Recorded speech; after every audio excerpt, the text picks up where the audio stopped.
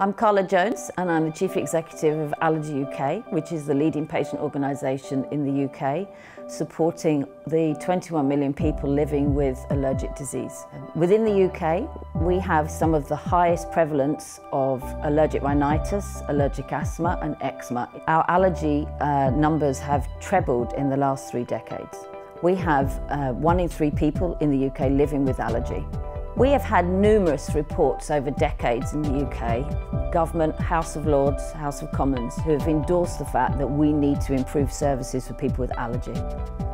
However, despite £900 million a year being spent in primary care on allergic disease patients, we still have a very few allergy specialists in the UK. We also find that our NHS and our primary care still do not have any full training on allergic disease. We need our leaders to show leadership. We need to make sure that our healthcare professionals understand the seriousness of allergic disease.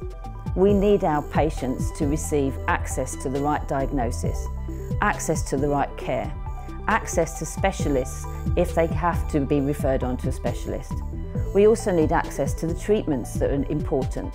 21 million people living in the UK need access to the right care and treatment. Show leadership. Each of us has a story, but we all share common challenges.